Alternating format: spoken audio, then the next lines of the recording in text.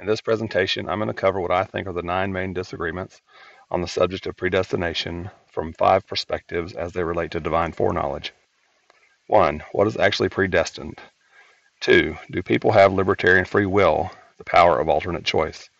3. Do real future alternatives and possibilities exist? 4. Did God predestine a group of undefined individuals or specific individuals? 5. Does predestination determine who will be in Christ? 6. Can anyone be saved? 7. Who chooses who will be saved? 8. On what basis does God predestine people? And 9. Is predestination revocable? Can you lose your salvation? If you're watching the video version of this presentation, you'll see a table that should make the perspectives of the various groups relative to these nine questions more clear. You can download the video, audio, and video slides from the understandingperspectives.com website. Predestination is closely related to divine foreknowledge, so what you think about one issue will influence what you think about the other. I have other videos that address foreknowledge more directly, and so far one interview with a scholar in the field. You should check them out. I suggest starting with episode 2. If these are questions you care about, I suggest listening to all the episodes about foreknowledge. They should help you get a good idea of what the range of perspectives are on that subject. A lot of what I have to say about predestination may make more sense if you have some background understanding of the perspectives of foreknowledge. Regarding predestination, consider the example of a passenger train that has been scheduled to go to New York City. The destination of that train has been chosen in advance, so by definition, the train is predestined to arrive in New York City. If anyone boards that train, they will also become predestined to arrive in New York City along with the train and everyone else on it. This is very like the group view of predestination that is often held by open theists and process theologians. At the opposite end of the spectrum, you have divine determinists, who believe that God controls everything, including who will be saved and what processes they will go through on the way. In their view, the main difference from the analogy about the train will be that in their view, God unilaterally decides who will get on the train and if they will remain on the train all the way to its destination whereas open theists and process theologians believe the choices to get on the train and stay on it are up to the individuals themselves. The simple and middle foreknowledge groups agree with open theists and process theologians about people choosing for themselves, but they believe the fact of what people will choose is predetermined in some sense, either indirectly by God's inherent divine foreknowledge in the case of the simple foreknowledge group, or by God choosing to create this particular world in the case of the middle foreknowledge group. There are two main passages in Scripture that talk explicitly about predestination in relation to salvation. I'll read them now. Ephesians 1 1 through 11 says, Paul, an apostle of Christ Jesus, by the will of God, to God's holy people in Ephesus, the faithful in Christ Jesus.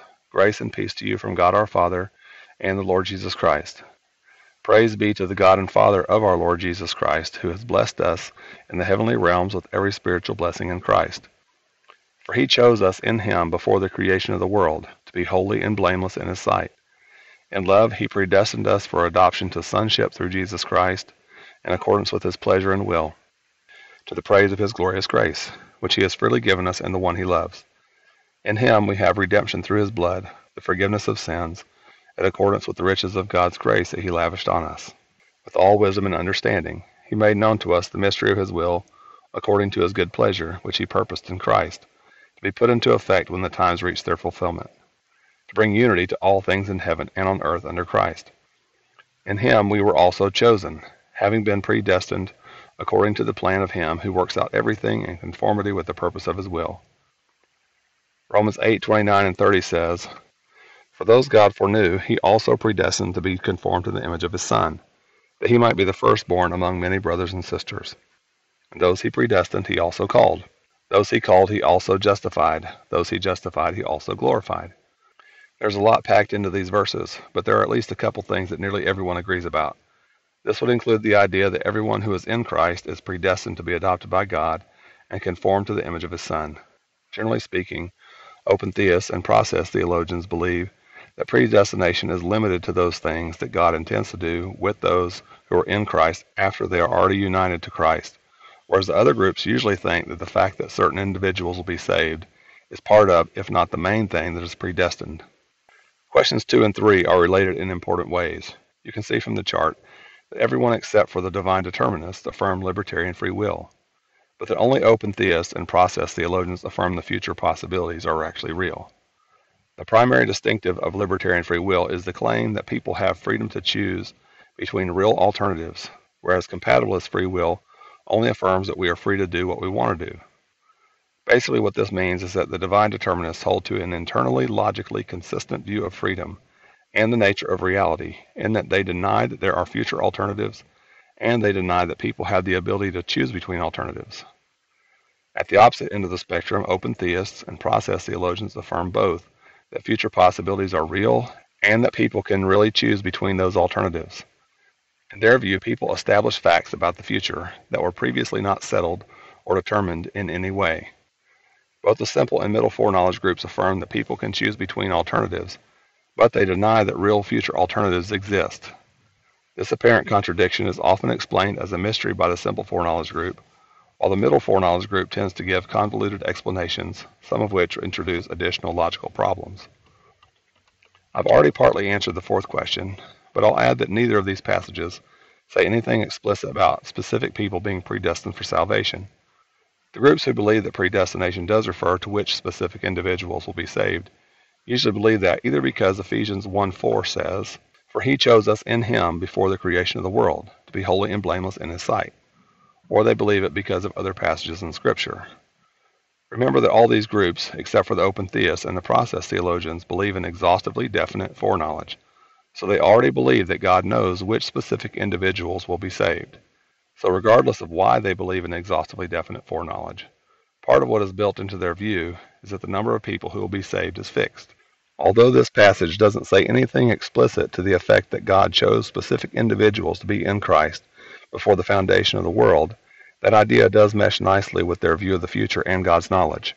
Because they start with that sort of framework, it's a tiny step to say that either God predestined people on the basis of that definite foreknowledge, or that he has definite foreknowledge on the basis of his divine decree. So it may not even occur to many people in these groups that Paul could have been saying something pretty different in verse 4 than what they assume he is saying. Open theists and process theologians usually believe that the group of people who are described here as being in Christ was an indefinite group of people prior to the creation of the world, and that it remains an indefinite group today, but that it includes everyone who is currently and will ever be in Christ. So, in their view, God chose that group of people who would eventually be in Christ prior to the creation of the world. And they do not infer that God must have had specific individuals in mind in order to designate a group of people to be conformed to the image of His Son. There are many differences between process theologians and open theists and every other group, but with regard to predestination, this is probably the biggest difference. Does predestination determine who will be in Christ? Again, the way people answer this question depends on how they interpret the data. The divine determinists say absolutely yes.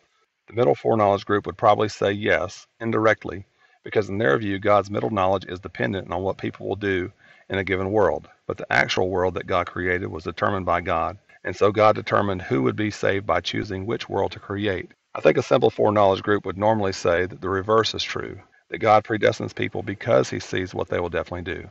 Most open theists and process theologians would say no. Predestination doesn't have anything to do with who is going to be saved, but rather pertains to those things that God has determined for those who decide to join with Christ.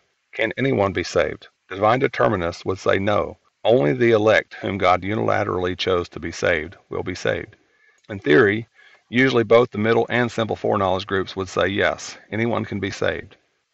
But they would also affirm that the fact of who will be saved has been settled from before the foundation of the world. Only the open theists and process theologians can consistently affirm that it remains possible for anyone to be saved. Who chooses who will be saved? I mostly already answered this question, but the divine determinists say that God alone decides who will be saved, and other four groups would affirm that salvation is a cooperative effort that God initiates and people respond to freely. On what basis does God predestine people? From the perspective of the divine determinists, this is part of God's divine prerogative. From the middle foreknowledge perspective, God predestined people on the basis of choosing which world to actualize through the power of his middle foreknowledge, in that he knows for sure what they would do in all possible worlds. People who hold the simple foreknowledge perspective usually say that God predestines people on the basis of what he knew for sure that they would do without giving an explanation for how he knew for sure what they would do. The open theists and the process theologians would usually say that God predestines people to be conformed to the image of his Son, and for adoption, on the basis of his love for us and his willingness to accept anyone who will repent of their sin. Is predestination revocable, Or can you lose your salvation? Most modern divine determinists say no. It's impossible to lose your salvation because God does not change his mind. And once he predestines someone to be saved, it's irrevocable. However, this has not always been the case. For example, in the Institutes of Religion, John Calvin said, There is a universal call by which God, through the external preaching of the word, invites all men alike, even those for whom he designs the call to be a savor of death, and the ground of a severer condemnation. Besides this, there is a special call, which for the most part God bestows on the believers only, when by the internal illumination of the Spirit he causes the word preached to take deep root in their hearts. Sometimes, however, he communicates it also to those whom he enlightens only for a time, and whom afterwards, in just punishment for their ingratitude, he abandons and smites with greater blindness. So technically, from his perspective, it was always the case that the lost would never actually be saved. But it was the case for some that God really did regenerate them, and then really does, quote, abandons and smites them with greater blindness, unquote. There isn't total consistency among other groups. Individuals within each of the groups hold various perspectives about this question, but in general, I would say that the further to the left on this table that you go, the more people in each group would believe that it's possible for someone who has been on the path toward conformity to Christ can abandon that path and be lost. Hopefully, that makes it easier for you to understand how these different groups think about predestination. This is just one aspect of the issue of divine sovereignty. I do plan to make future videos on that subject, so if you're interested in that, maybe you should bookmark this website, subscribe to the YouTube channel and the podcast so you'll be notified whenever I put out a new video. Thanks for listening. May God bless you.